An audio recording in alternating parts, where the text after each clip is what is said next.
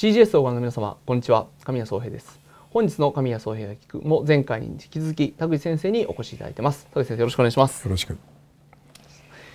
ずっと人格教養教育というものについてお話をお伺いしているんですけども、うん、まあ、前回の時に、まあ、今非常に社会が無規範になってしまっていて、それがまあいろんな社会問題を生んでますよねと。うん。でまあ、その現、ね、やはり日本人がそういう規範というものを大切にしてこなかった経緯があるんではないかと。で明治維新それから敗戦とあって、まあ、新しい制度がどんどん取り入れられていくときに、まあ、古き良きものを少し忘れてしまったところがあると、うん、ところでじゃあ一つヒントはどこにあるんでしょうかと、うん、また次何か教育を考えるときに何を手がかりにすればいいんでしょうかということになったときに、まあ、これ私も今日まさしく一番聞きたいところでもあるんですけど、うん、江戸期の教育というものにいろいろ我々が学ぶ点があるんではないかと。まあ、よく私たち海外を見るんですね、うん、いやヨーロッパ北欧がいいんじゃないかとかですね。そうなんです、ね、見るんですけど実は、うん、我々の内側、うん、というか過去にですね、うん、そういうものがしっかりあったのではないかというようなことを先生は言われていますので、まあ、江戸期の教育がどういうものだったかということを今日ちょっと詳しく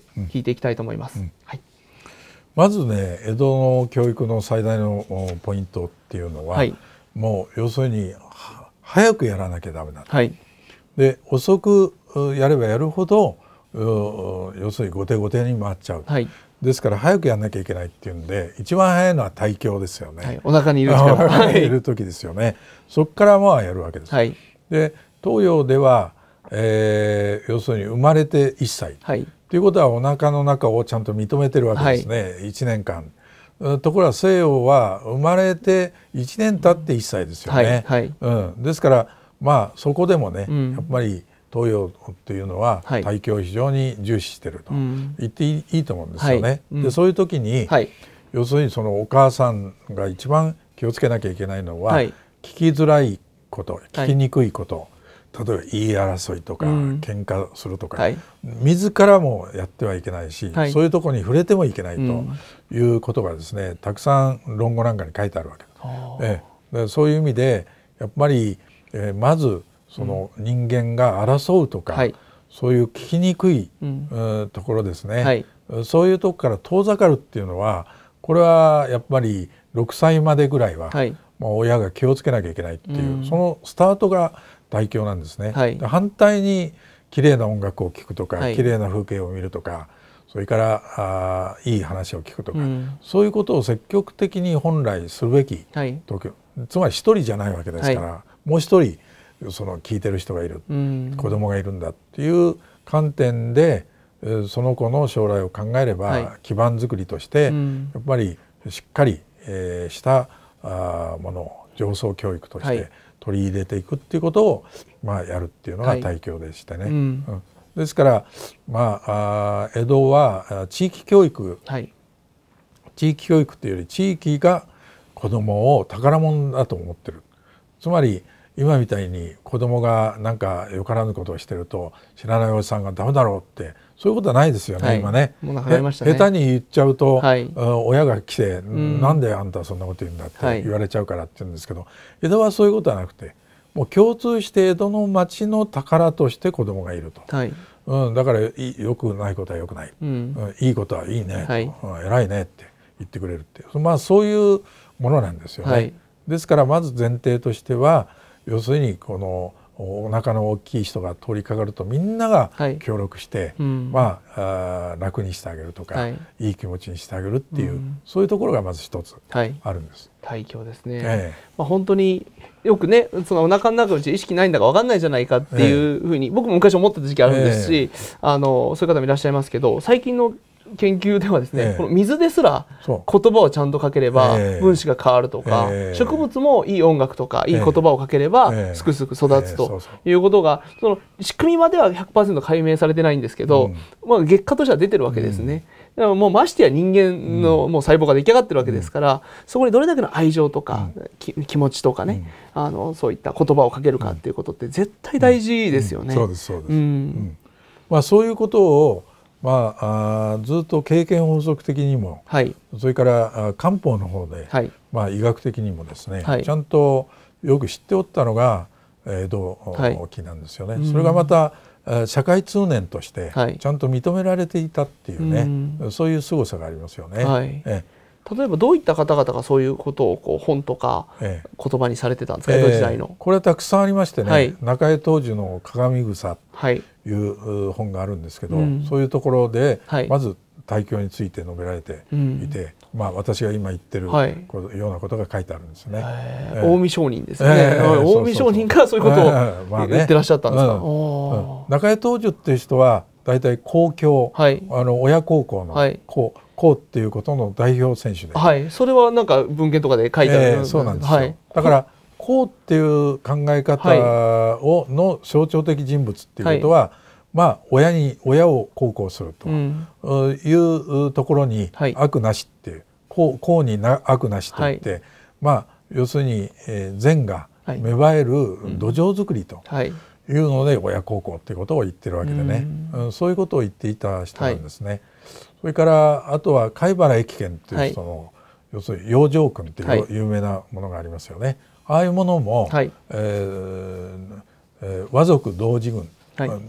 というものがあって、はい、これも、えー、子ど子育てのことをずっと言ってる本があるんですけど、はい、まあ割と多くそういうものが、えー、目にすることができたのが江戸で、はい、えー、だから今はむしろ子育てに悩んでるお母さん非常に多いんですけど。多いですよね、うんはい、多いんですけど当時は割と頻繁にそういうものを目にするチャンスがあったと。言っていいんじゃないでしょうかね。はいうん、今本当に皆さん子育ての仕方とかね、ええ、コミュニケーションの取り方とか、え、その子育て中のね、そういう悩んでおられて、やっぱり全て行政に来るんですけど行政は逆に言うとね、うん、あのなんか価値観の押し付けとかまさしく規範みたいなのを行政が示してはいけないみたいな、うん、そういうなんかまだそれの行政なりの規範っていうかですね、ルールがあってなかなかそういうところに踏み込めない。でなかなかこう学校の先生方もそういうことは言ってくれないということなんですけどかつてはその僕ら学校では勉強するとこだということで、うん、こう技能とか知識を学ぶんですけど、うん、それ以外のこう人間教育とかっていうものは江戸時代はどういうふうに学んでたんですか、うん、そうですね。まずその身につくのに長時間かかることから教えると、はい、さらに言ってみれば人間としての基盤づくりとい。うのが基本で、はい、えー、ありますね。はい、でまずなぜ人間に生まれてきたか、はいいうためには人間とは何かっていうことを教えなきゃいけませんよね、はいはい、今人間とは何かなんて言われたらちょっと答えられないっていう人がほとんどでしょうね。ほとんどだと思うんですけど、はい、これはですね、はい、えー、人間と他の動物の違いっていうことをまず教えるわけですね。で、えー、人間も動物ですから、うん、本能とか欲望とかそういうのを持ってますよね。でえー、欲望っていうものもいい欲望、はい、意欲っていうの、はい、そういう欲望があるから、うん、全否定しちゃいけないんですよね。はい、そうするとまあ欲望っていうものはこう意欲ですから、はい、えー、車で言えばアクセルなんですよ。アクセルだけの車って乗りたいですか？怖すぎますね。そうですよね、はい、衝突して終わりみたいな。そうでしょ、はい、だからブレーキが必要ですよ、はい、ブレーキを理性と言って、うん、うん、それ言うんですよね、で、えー、その理性をまずしっかり教える。それが人間性ってことなんですけど、うんはい、性っていうのはそういう意味なんです。うん、で天の命ずるこれを性というっていう、はい、これがもう小学教育のもう第一歩で、はい、要するになぜ人間に生まれてきたかっていうとそのブレーキである性を持ってきた、うん、そこに人間の人間たるゆえんがあって、えー、だから人間は他の動物とは違うんだよと、ブレーキがかかる他の動物はブレーキがないんだとい。うことですね。はいうん、でやがて、えー、欲望っていうのはどんどん拡大していきますから、はい、えー、欲望に使われる身になってしまう、うん、欲望なんてものは使ってなんぼのもんだと言って、はい、そのためにはブレーキが重要だと言って、ブレーキ、うん、理性っていうものをしっかり身につけさせられるわけですよね。でこの理性っていうもの自体がある意味では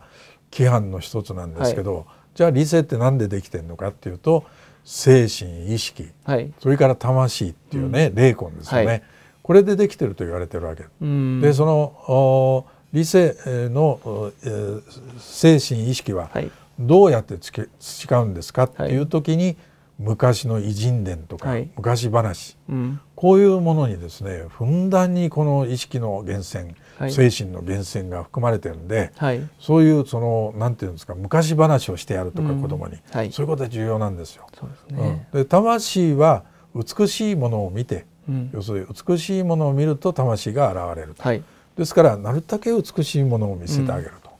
いうことですね、はい、綺麗な朝の風景とか、うん、それからあ白砂青松のそういう庭とか,、なんかそういうとこを見せてあげる、はい、そういうのが重要なんですね。えー、なるほど。まあ歴史人伝、まあこれも私、え。ー、私この CGS でやってることなので、えー、あの agree ですけど、その魂を磨くという美しいものということは、えー、まあ以前私は先生からお聞きしましたけど、なかなかそういうことを言ってくれる人はいなくてですね、いや魂なんて形もねないし見えないし、というようなことですけどでも子供って感性豊かで正直だから、うん、本当に綺麗なものを見せると元気になるし、うん、からまたこう感動する偉人伝なんかをしてると、うん、彼は興奮するんですよね。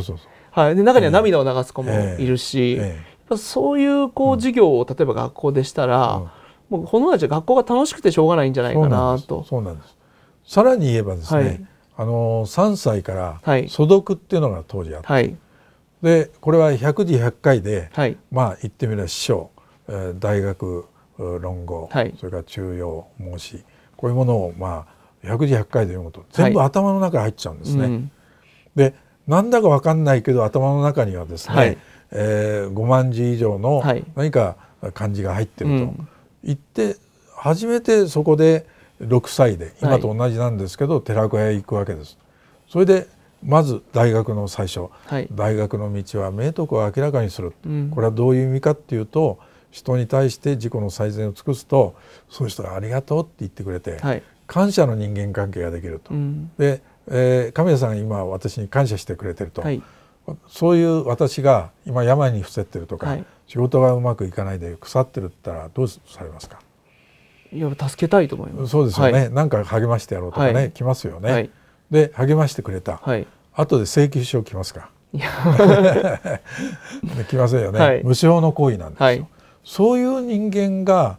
人生で何人できるかっていうのが、人生の要態だよ要点だよっていうのを子供の頃から教えるんですよ。はいうん、ね、ですから子供はあそうかと。いろんなところで親しい人がいてみんなが誘ってくれるというような状況協力者理解者、支援者そういうものがいるってことは重要なんだなと言ってこの徳っていう概念をですね、まず覚えるわけですね。えでそれだけでもねもう人生うまくいけちゃうっていうわけもんで、それをもう幼年の教育から徹底的に、えー、守らせる、はい、えー、行わせるということがまずあるんです。まあ、徳という言葉がちょっと出たので、えー、私ちょっと話しづらくなったんですけど、えー、まあ、私なんか龍馬プロジェクトというのを7年間やりながら、まあ、選挙に何回も落ちてるわけですね。で普通なんか選挙に落ちるとみんな離れていくらしいんですけど、僕は幸い、まあ、今日も龍馬プロジェクト仲間のご縁で先生とこうやって座ってますけども、いろんな仲間がですね、こう支えてくれて、でも生活もできますし、それで。からそれに今すごくこう感謝をしていて、だから本当にお金はそんなたくさんはないですけど、うん、でも生きることはできる、うん、そして何よりいいのはこう全国にね、仲間がいて、いろんな人たちが声をかけてくれて一緒にやれるっていうことにすごく今、人生の幸せを感じていて、これでいいんじゃないかなと、だから、まあ、政治家なんで、まあ、みんな選挙に通るために次頑張れ頑張れって言ってくれるんでそれは頑張るんですけど、でも大事なことは選挙に通ることよりも、やっぱりそういった自分の関係ある人たちと何かこうつながっていって、一緒になんか社会のために世の中のためにいいことをしましょうと。言える関係が広がっていくことが、うん、なんか本質で、うん、もし江戸時代の方々がみんなそんな気持ちでやってたとすれば、うん、それはものすごい力だなと思いますね。あの経営の神様である松下幸之助さんは何と言ったかっていうと、はい、要するに経営者の条件は何ですかって聞いて伺うと、はい、それは運が強いことだって言ったんですよね。はい、これは名言だと思うんですよね。例えば自分の上司が社長が運が弱かったらどうですかね。もう やってられないですよね。ね、うん、だから運が強いことやと、うんはい、じゃあ運を強くするのはどうするんですかっていう私の質問に、はい、それは徳を積むんだって言ったんですよ、はい、あ徳っていうのは運を強くするっていう側面もあるんだな、とい。うことですね、うん、でその後また松下さんとお話をしてると、要するにその運が強いっていうことは人間は人生の中で絶対絶命のピンチっていうのがあると、はい、その時にその時に助け舟が来るかどうか、はい、うん、来る来なければそれで終わっちゃう。といい、来る、うん、それは何かっていうとかつて徳をまあ振りまいつ要するに A さんに徳を尽くしたから A さんから帰ってくるってことはないっていうんですよね、はい、から全く違うところから、はい、とんでもない、えー、予想できない人から助けられる、うんはい、この世はつながってるんだと、うん、うん、全部人間の連帯つながりなんだと、はい、だからどっから帰ってくるか分かんないけど徳を尽くしてるといざという時に助け舟が来るんだっていうことを言ってるわけで、うん、そういうのすごく重要な概念なんですけど、それを小学校1年で習うっていうのともう習わないとこんな差になるんですよね。ねもう現代をと徳こそが最大のセーフティーネットであるということですね。だからセーフティーネットはお金とか法律で決めておくんじゃなくて、うん、一人一人が徳というものを積んで、うん、自分のセーフティーネットをきちっと作っておかないと、将来みんな困っちゃうよというぐらいのそういうまあちょっとセーフティーネット軽くなっちゃいますけど。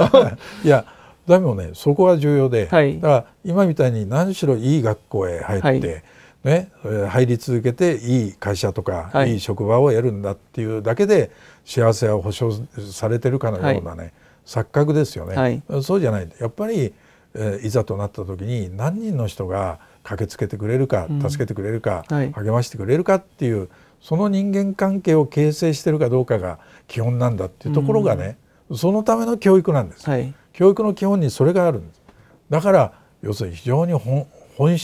質的に人生っていうものをね、はい、考えていくっていう、うもう小学校の時代からそうなってるんですね。はい。ええ、それが江戸期の教育であったということですね、えー、今はだから江戸から比べれば多分食べ物も良くなって、うん、物質的には豊かにはなってるかもしれないけれども、う。ん、人の心がね少し寂しくなってて、うん、国民の幸福度が下がっているとデータに出てるのは、その辺がやはり教育の軸に欠けてる。江戸はねもう外国人が全部言ってるのは、はい、こんな貧しい国は見たことないと。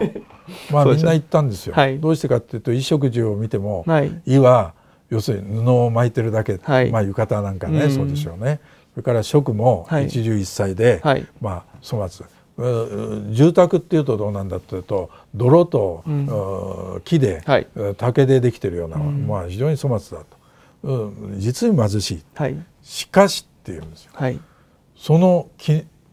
一つのあの切れを巻いただけのそれもいっつも洗濯したてのお日様の香りがプーンとするようなねいい香りのものにを羽織ってるし、うんはい、えー、一汁一菜粗末な食事ったって箸を出したいような、はい、実に魅力的な、まあ、取り立ての野菜とか魚とかそうだし、まあ家にしてみれば粗末だけどいっつも吐き清められて美しい、えー、香りがするようなそういうものだ、はい、こんなに